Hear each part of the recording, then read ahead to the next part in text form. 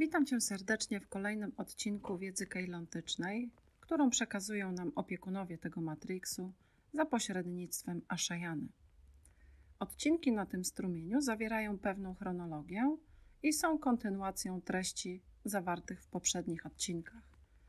Dziś chciałabym przedstawić dalszą część historii faraona Akentatona i zmianę w historii, którą spowodował. Dobrze.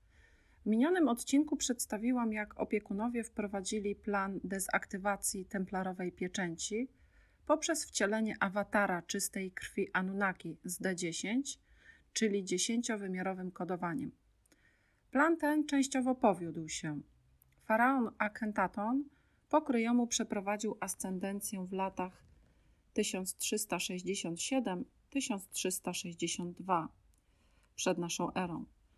Jego kontrakt duszy polegał na tym, że miał wprowadzić pole morfogeniczne Anu Melchizedeka do kuli Amenti oraz dopilnować, aby korytarze Amenti otworzyły się i przeprowadzić ascendencję istot, których kodowanie pozwalały przejść na planetę Terę. Niestety pojawił się problem, ponieważ faraon ascendencję przeprowadzał głównie w rasach z pieczęcią, czyli Anu.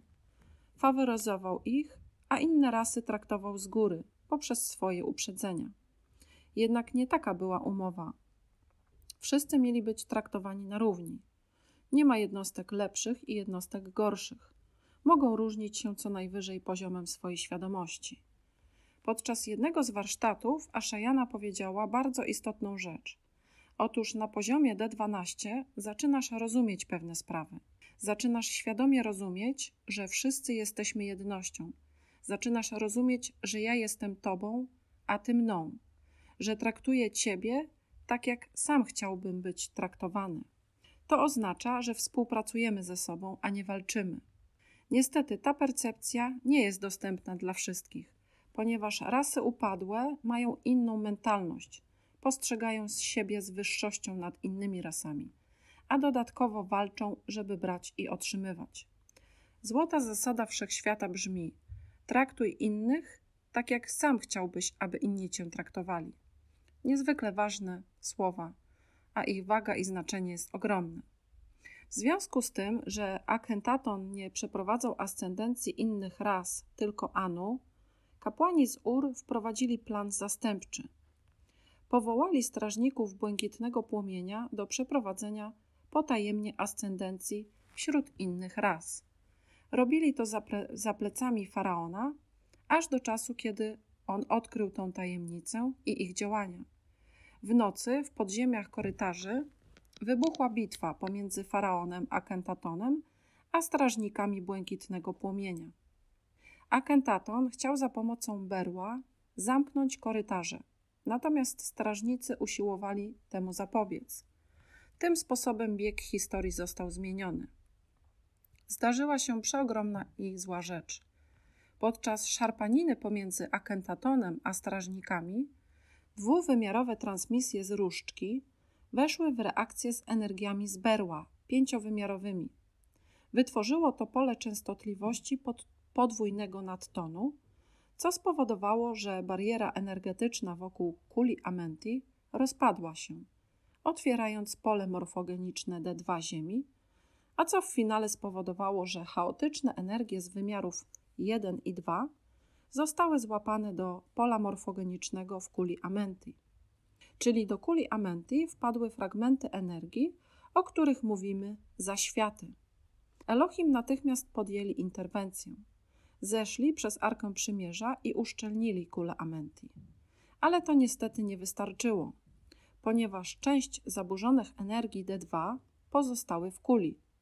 Więc aby ratować sytuację, Elohim rozdzielili kulę na dwie części, pozostawiając jedną jej część w D2, a nieskażoną część kuli pozostawili w D3, w paśmie ultrawysokich częstotliwości, gdzie dodatkowo ją uszczelniono więc kulę podzielono na dwie części.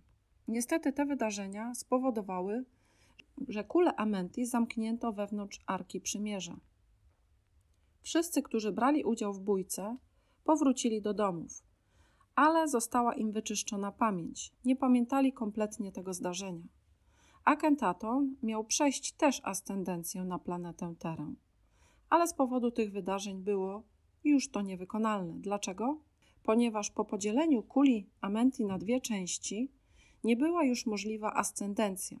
Z tego powodu, że dusza zostałaby rozdzielona na dwie części, czyli zostałaby rozczłonkowana. Nie można było dokonywać już ascendencji, bo szkodziło to duszom. Kapłani z Ur próbowali to przekazać Akentatonowi, ale on dalej przeprowadzał ascendencję Anu, myśląc, że jest po prostu manipulowany. Nie pamiętał niczego, ponieważ jego pamięć z tamtego wydarzenia została wymazana. Elohim ponownie podjęli interwencję. Zrobili tak, że ludzie, którzy brali udział w ascendencji, ich pola morfogeniczne zostały usunięte z pola morfogenicznego kuli Amenti i umieścili je w innym portalu, trzecim oku Horusa, o którym wspominałam w poprzednich odcinkach. Portal Trzecie Oko Horusa był portalem, który też był aktywny i łączył się on z Syriuszem B, ale niestety pod pieczęcią templarowo-aksjonową, która powodowała, że mogli przejść na planetę Terę tylko jako esencja duszy, ale ich inkarnacja musiała odbywać się na Ziemi do czasu, aż złożą pofragmentowane swoje części z D2. Taki był ratunek dla dusz, które Akentaton przeprowadził po podzieleniu kuli Amenti na dwie części. Z czasem zniekształcenia w kuli Amenti miały zostać wyrównane do prawidłowego wzorca zgodnie z dwunastoliniowym wzorem DNA, aby ponownie ktokolwiek mógł się wznieść przez kulę Amenti. Po tym czasie i wydarzeniach Akentaton odsunął się z działań politycznych, a w finale został zamordowany przez konspirację, aby przejąć jego tron. Tron z kolei objął ośmioletni Tutenchanon. Było to w 1340 roku przed naszą erą. Nauki prawa jedności niestety wówczas zostały zatracone.